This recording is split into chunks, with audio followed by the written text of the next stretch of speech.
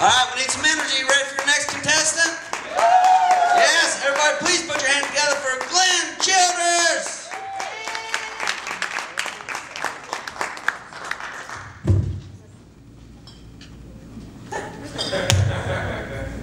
So, Dave, funny boy, how I feel? I'll, I'll talk like that for real, I'm joking. They're over here worried, like, oh, damn it, it's one of them. hey, thank you for coming out and supporting live comedy. Give yourselves a round of applause for doing that, really.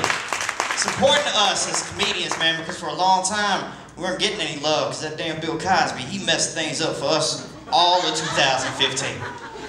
And I tried to give him the benefit of the doubt. First couple women came out, I'm like, come on now. Really, Bill Cosby. Then you got about 20 and 25. I'm like, man, hell, with Dr. Huxtable, I can't. It's bullshit. I was trying to figure out why it took us so long to believe the accusers that were coming out. But all celebrities do stupid stuff. We choose and pick who we want to throw up under the bus. Even if the evidence is right there in front of us, we still choose and pick who we want to throw under the bus. I mean, hell, Woody Allen married his evidence. R. Kelly had a whole middle school smell like a damn asparagus farm. We still listen to Trapped in the Closet like nothing happened. Then old Dr. Cosby comes along. I think, well, why would even, why would Bill want to roofie a girl? Why would he need to? But it's because Cosby doesn't have sex appeal. If you leave out of here tonight, you go to the closest bar, Beaver Creek, and you sit down, you have a couple drinks, ladies, and somebody like Dr. Cosby comes up to you and tries to spit game, he's not gonna get no ass tonight. Because there's no sex appeal coming from a guy that walks up to you and goes, First thing I want to do to you, take you back to my house, then you're gonna play with the ball. That's not attractive.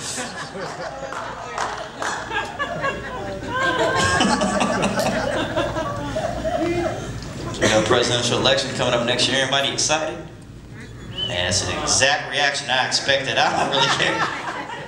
I did decide that since I am of age now, I'm going to officially throw my name in the hat to run for president of the United States in 2016. That's right. Don't, don't woo yet. You don't know what I'm about.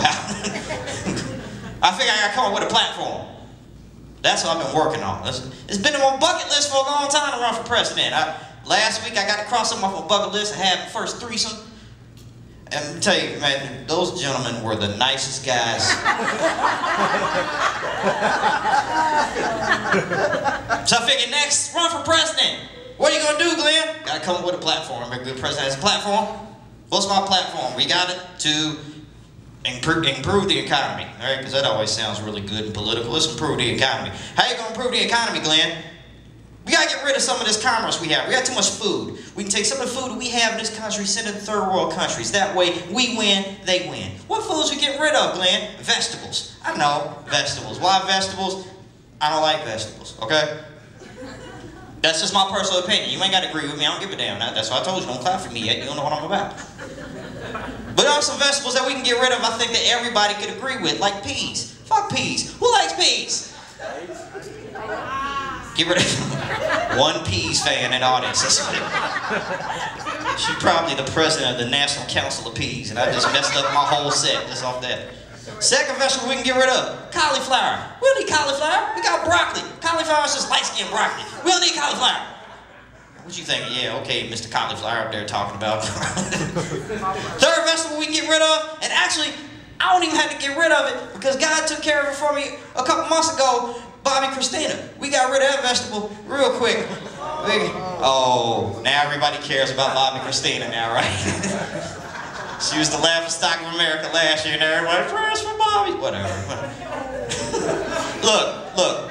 Next week I'll be using Lamar Odom. I was using five years ago. I was using Teddy Pendergrass. I switch them out. It's an old joke. All right, don't even don't even get offended. so I got kids. I know that's sad to say, right? I have children, love my babies. I take care of my babies as much as I can because they're good girls.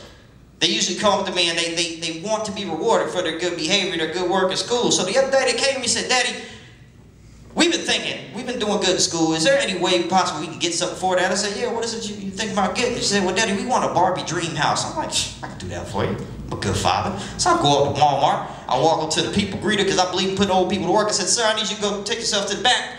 Bring me back your finest Barbie dream house. I want a box with no scratches or dents in it anything. He brings me that box and I'm proud.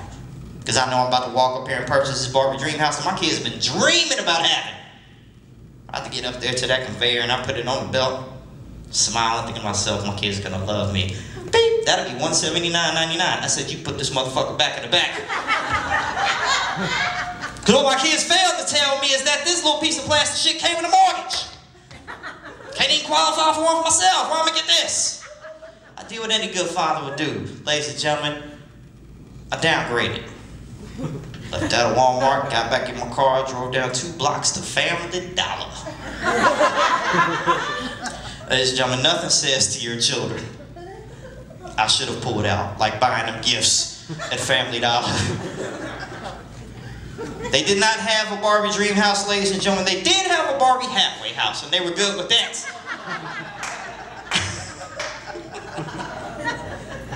I'm gonna leave you with this, and this is something serious. Um, I'm a huge advocate of not drinking and driving. And I know we're in an establishment that serves alcoholic beverages. I do want you to purchase them and take care of your wait staff your bartenders. Um, but make sure tonight when you get home, don't drink and drive because we want you to come out for finals. We want you to come out and celebrate Brenda's birthday. So make sure you come back for that. So do not drink and drive. Play it safe, ladies and gentlemen. Stop the car, take a sip, then drive down the street. My name is Glenn Childers. Thank you so much. Glenn Childers, ladies and gentlemen, let him hear it.